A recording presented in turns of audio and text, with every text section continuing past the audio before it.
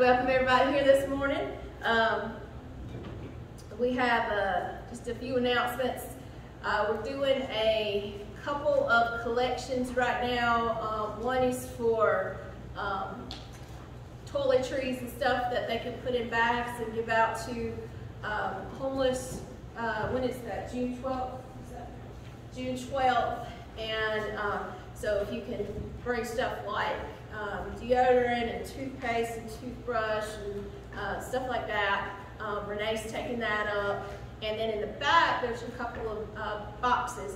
We're doing a food drive for a local family and, um, doing that through next week. Is that correct? Two weeks?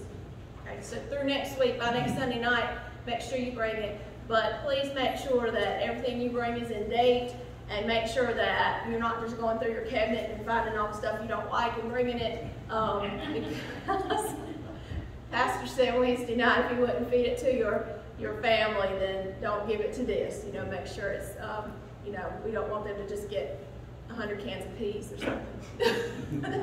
so, uh, Women in Faith will be meeting on June 1st at 6 o'clock at the Fellowship Building. We're going to have, um, we're, we've been offered a dish of baked spaghetti for us, and so we're going to bring stuff to go with that for salad and bread and desserts and things like that. Got a really good lesson planned for that night. And we're also going to work on packing those bags for um, the thing on June 12th. Um,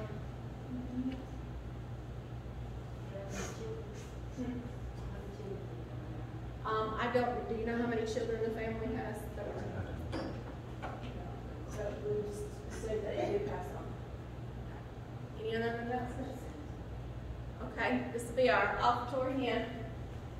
Page five oh eight, or you can read where, you can see the first, second, third.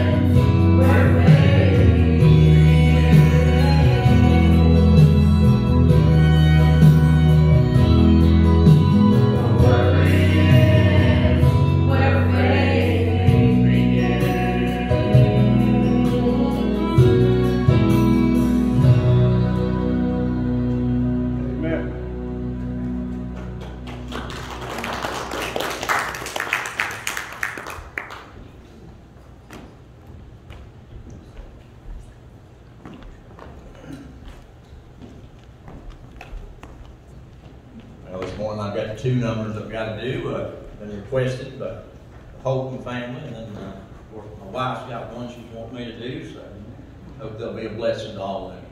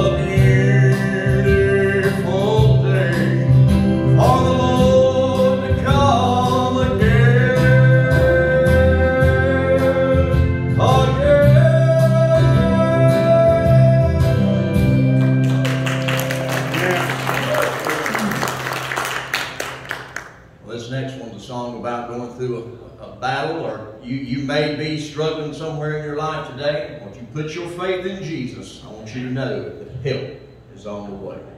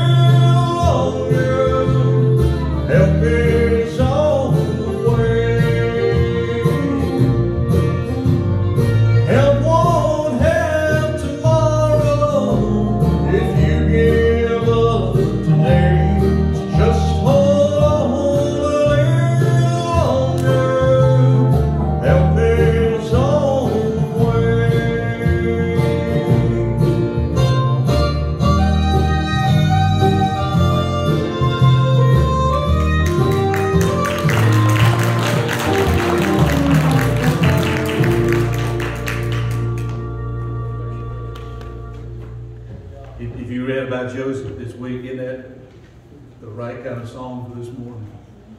Tell you what, you come to faith and you listen to the music, you're going to be blessed. If we don't do anything else, we're going to be blessed. Thank y'all for all the music this morning. Appreciate that. God has a story and God has a plan. And Joseph fits in that plan. You know, it's interesting to me that God doesn't always choose the most likely to succeed. You would think he would choose the oldest brother. He chooses number 11. Why number 11? God has a plan. I'm going to be looking at Genesis chapter 50 and several chapters around that this morning as we study about the direction that God leads Joseph as he builds his nation. 1914, Mahatma Mahatma Gandhi returned to India to help fight uh, for independence. By 1920, he was elected the ruler or the leader of Home Rule. And by 1947, India had its freedom. The reason they gained independence because the people bought into the leadership of Gandhi. That's exactly what happened in the time of Joseph. The people were struggling. it was a difficult time. Joseph came to the forefront as a leader, and the people bought into that leadership. But it was a path. There are several pieces to this puzzle that God put together, and it's always interesting how God puts your life together. Sometimes when it's broken, how He puts it back together. But it's so interesting how He put this puzzle together in the life of Joseph. Out of betrayal, we're going to see God give Joseph strength. And in the middle of pain, sometimes we wonder how in the world God's going to use this and how anything good is going to come out of that situation. We realize that from the story this morning that Ted told that, that uh, he was sold into slavery. And you wonder how can anything good come out of being sold into slavery? But trouble had been brewing in that family for a long time. There were 12 children and Joseph was the favorite. Jacob made no bones about it. And there was no doubt that Jacob or Israel loved Joseph more than the, he loved the other brothers. Let me ask you this morning, were you the favorite child when you were growing up? Yeah. Uh, uh, the other children were always the favorite child. But let me tell you, if, if you're the only child and you're still not the favorite, there, there's trouble in your house. Or, or if there are two children in your house and your mom and dad can't remember your name, you're probably not the favorite child in that particular family. Parents try not to show favoritism to their children most of the time. But again, Joseph, uh, Jacob made no bones about it. He gave J- uh, Joseph the best of everything. And so his brothers decided when they had an opportunity to get rid of him, they sold him to a group going to Egypt. They even got enough money out of it to go by McDonald's and have a meal together, and they enjoyed that. They went back and told their father that, uh, that he had died, that he had been torn apart by, by animals. You know something interesting? He was torn apart, but the coat wasn't. The coat was whole. Right. And if an animal tore somebody apart, it'd probably tear the coat up too. But Jacob decided his son was dead, and it said he mourned. There are difficult times in our life. It's like the lady went to Europe and she called back home to her husband and said, Well, how is my dog doing? He said, Well, I'm sorry your dog died. She said, That is so insensitive. You ought to be a little more sensitive. And he said, What should have I said? She, he said, Well, you should have said that, Well, the dog climbed out on the roof and it was raining and the roof was slick and he slid off the roof and fell and, and hit the ground and died. And he said, Okay. And she said, Well, how's my mother doing? He said, Well, your mother climbed out on the roof and it was raining. Sometimes we're not very sensitive when a person dies, but Jacob's heart was broken. There was a great deal of remorse. Now, I want you to think about this this morning. if you were to take a 17 year old and you drop them in the middle of China, they couldn't speak any Chinese, they didn't know anybody, they didn't know exactly what they were going to do, and yet they had to exist. That's exactly what happened to Joseph. They dropped him in the middle of a situation where he didn't know the language, he didn't know the people, didn't know exactly what was going to happen. But God gave him strength. That's part of the puzzle. He went on to give him integrity out, out of temptation. When Joseph got to Egypt, they sold him as a slave. Now, for 17 years, he had been the apple of his daddy's eye. And all of a sudden, he was a slave. He was at the bottom of the barrel. But again, God uses this situation because he puts him in the house of a man named Potiphar. He's a very wealthy and powerful man. And he's there in that house and, and, and he begins to see the strength of this young man. It's a powerful thing for, for people to see what God has put in your life. Yes, amen. It's a powerful thing to, to see what Potiphar saw in this young man and the great strength that he saw there, the leadership ability. But sometimes God uses people. You know, I had a teacher in college that came from Pakistan, learned English, and got a PhD at the same time. Now, that's a smart person. And you recognize that in, in a person like that. And he recognized what was in Joseph's life. So, again, think about this an 18 or a 19 year old, he puts him in charge of everything in his house. That's like putting a teenager in charge of the West Wing in the White House. It is absolutely amazing what God was doing in his life. Yeah. Potiphar noticed him, but so did Potiphar's wife. It, it said in, in one of the translations that Joseph was well built and handsome. Now, guys, this morning, that's a burden we have to bear sometime, isn't it? That we're well built and handsome. But it was absolutely true of Joseph. Amen. And he caught the eye of Potiphar's wife. Yeah. And she continued to invite him to be a part of her life. And, and you think this morning, what difference does it make? He was a long way from home. Nobody from his family would ever know about this. And he was in the midst of a lot of trouble. Why couldn't he enjoy some things? I'm going to tell you something this morning that's absolutely true. Temptation always looks good. You're right. Amen. It always looks good, Yes, sir. but the consequences never is. That's right. It is easy to fall all kinds of temptation. Like a lady that was in a weight loss support group. And she went to her meeting that day and she said to, to the folks, I I baked a cake yesterday and a day before yesterday, and my family ate half of it. And I came in the next morning and, and I thought, well, one little piece won't hurt. And she said, before I was finished, I ate the rest of that half a cake. And they said, well, what'd your husband say? He didn't find out. Because I baked another cake, ate half of it, and made it look like the original cake. Some of those situations we say, well, come on, who, who's going to know the difference?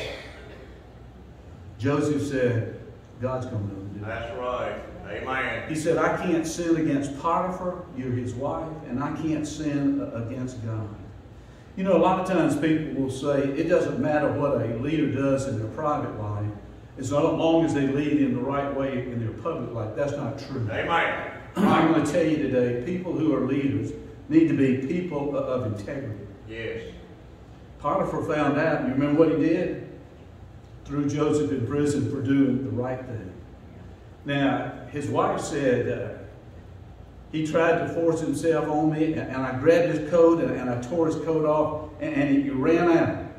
There's a Puritan preacher one day that said Joseph lost his coat that day, but he kept his character. Amen. You see, God is, is building not only strength in him, but he's also building integrity. Know something again this morning. The message is always filtered through the messenger. Why do a lot of people buy a certain kind of tennis shoe, basketball shoe? Because Michael Jordan said it was good. And that's the only reason they'll pay $100 for that particular shoe. So it is important that leaders live with integrity because the message is going to flow through those leaders. And then God's going to take another piece of the puzzle. Out of hardship, He's going to give Joseph wisdom. Now, again, think about this. For doing the right thing, Joseph is sitting in a dark, dusty, smelly dungeon, wondering what happened. You ever get to the point, like you said this morning, you ever get to the point where you think, God, what's going on? What, what's going on in my life? I feel like I'm, I'm doing the right thing, and it seems like everything is falling apart. That you get to a situation where, where your life is stretched and, and your faith is pushed to the limit. And all of a sudden you look back on that situation and realize God taught you all kinds of things in that situation. And God's going to give Joseph wisdom in this time and leadership skills and administrative skills. It's going to be amazing how God's going to put everything together. Because in that same prison, there were two other guys the cupbearer and the baker of Pharaoh. Now, you can imagine these three guys sitting around like the movie Oh Brother Where Art Thou singing We're Men of Many Sorrows because they had a lot of sorrows. They got to be friends and they started talking. And they said, Joseph, I, the cupbearer said, I had a dream. And Joseph interpreted that dream and said, Now listen, you're going to be put back in power. And the baker said, That sounds good to me. And he said, You're not going to make it. It's bad news for you, but you're not going to make it. And all of a sudden, exactly what he said happened. He interpreted those dreams in the right way. The cupbearer was returned to the king. And the last thing, the last thing they talked about, Joseph said to the cupbearer, Now remember me. When you get back in your power, position of power, remember me. Chapter 40, verse 33, 23 says, The chief cupbearer, however, did not remember Joseph. He forgot you ever felt like in your life you turned a corner, when you turned a corner, you ran into another wall? Yeah. Ever uh, wondered what was happening into your life? And it said two years passed. Now, at 70, looking back two years doesn't seem like a long time. But if you've ever been in a situation where you're in some kind of prison, where pain, difficulty, or family troubles, or the list could go on, two years is a long, long time. He sat in that dark prison for two more years. But God continued to fill him with wisdom and patience. Then he was going to add another aspect to his leadership ability as God called him.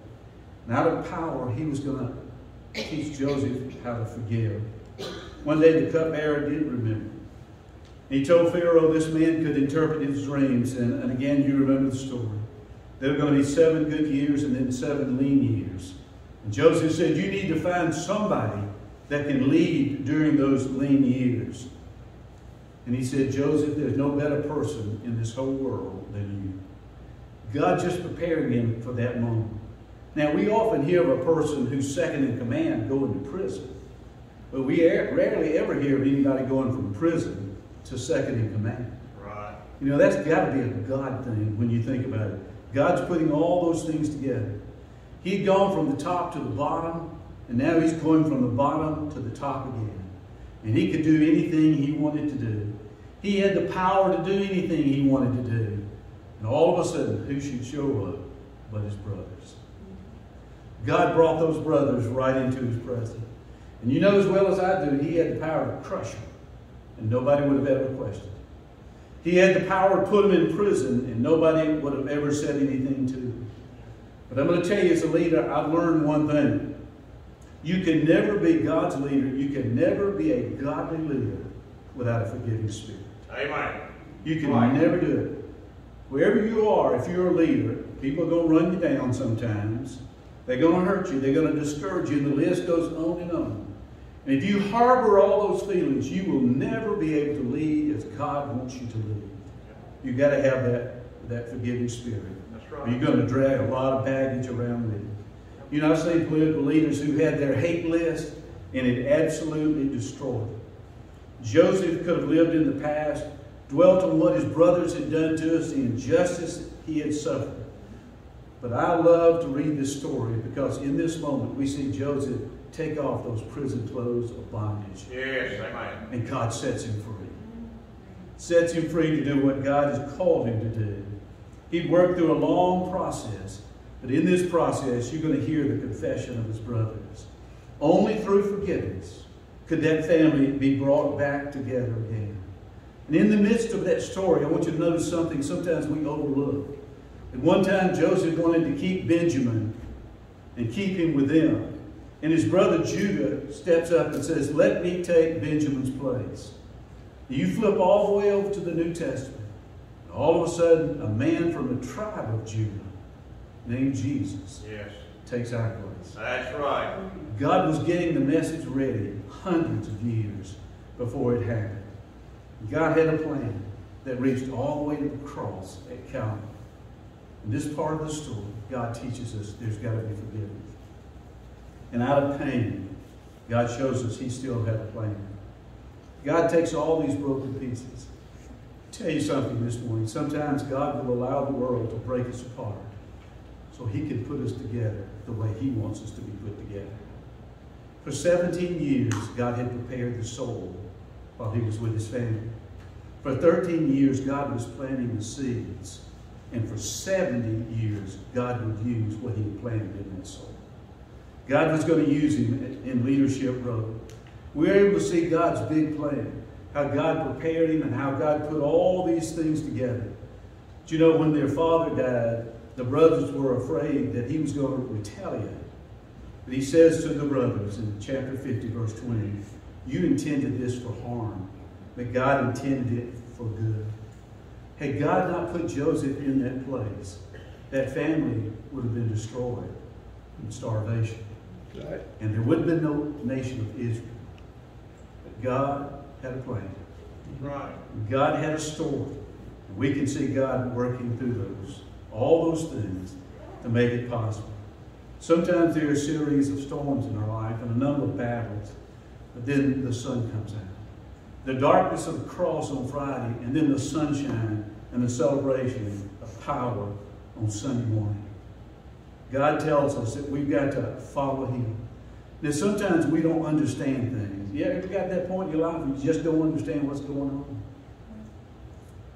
We've got to be guided by faith, not by sight. Right. Trust, not by explanation. God took that and put it together and used Joseph in that opportunity. And I've seen that happen in the church over and over again. I've stood with people by the graves of their children.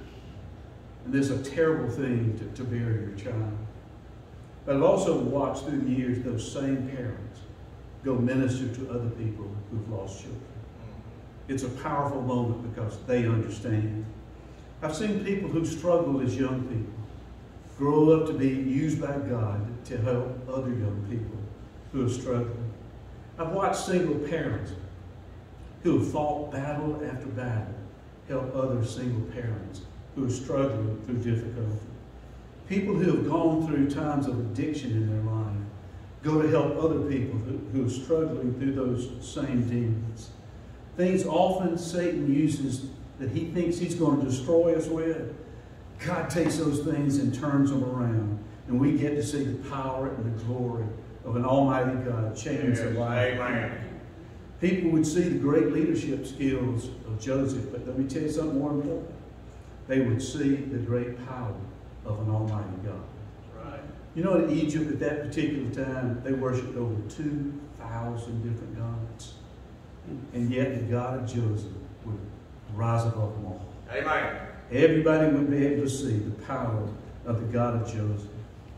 In our time of famine in life or crisis or times of struggle, we need leaders in our churches who will honor God and walk with God. Dr. Martin Luther uh, Lloyd Jones said, It's tragic when a person succeeds before they're ready for it. Joseph was ready for it because God prepared him. Proverbs 19:21 it says, "Many are the plans of man's heart, but it is the Lord's purpose that prevails." You see, it was the Lord's purpose through the life of Joseph that prevailed. When he was ready to be a leader, God had put together a man who had experienced so many things. But he was a man of strength and integrity and wisdom, and a sense of forgiveness. And he was ready not only to follow God, but to be a leader for God. There was a man named Art Fable. he was a great leader in his church. He helped his church grow in every way it could grow. He was a leader who would accept a challenge when there was a new job in the church. And the thing that was so interesting about Art was that he had a great deal of enthusiasm, and a great deal of stamina in following the Lord. And what was so unique about Art was he was 90 years old, but he didn't give up because he felt like God could still use him as a leader in his church. He had a hope for the future. We're in the middle of a lot of junk, aren't we, in our world today? A whole lot of stuff that, that's going on. And God is calling, and He's calling, in a, I think in a loud voice today. He's calling for leaders in the church that will tell this world there is still hope. Because God's still got a plan. It's, God's got a story. And He wants us to be a part of that story. This morning, as we sing our hymn of invitation, we offer that opportunity to you to stand before the Lord and say, God, just use us. Use us this morning like you used Joseph to help a world that's starving spiritually this morning. Let's sing together.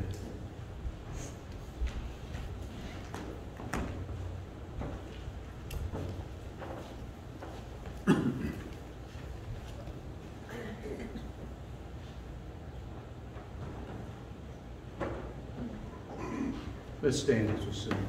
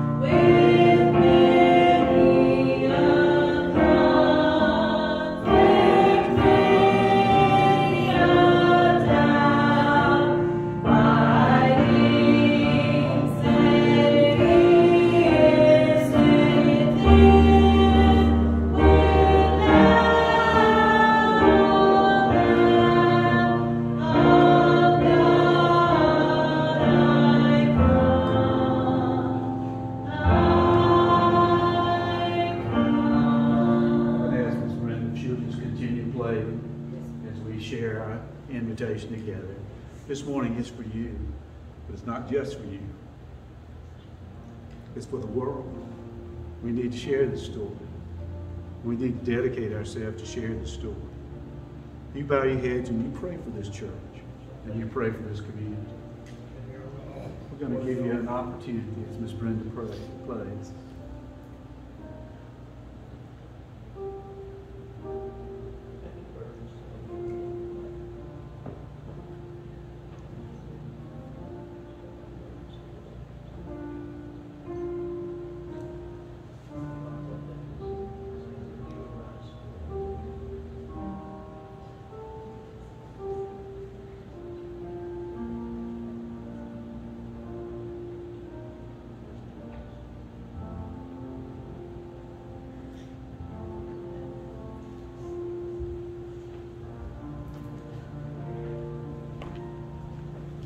Father, all you've asked us to do is come just as we are. Just like Joseph, he wasn't prepared, but uh, God, you became his teacher. You became his leader. And you put everything in him that needed to be there. Father, as we continue your story tonight, we pray, God, will come back and, and that we'll learn more about you, that we'll be drawn closer to you and have a greater desire to bring renewal to this church and revival to the community. Again, thank you for today. Thank you for your wonderful story. We pray these things in your name.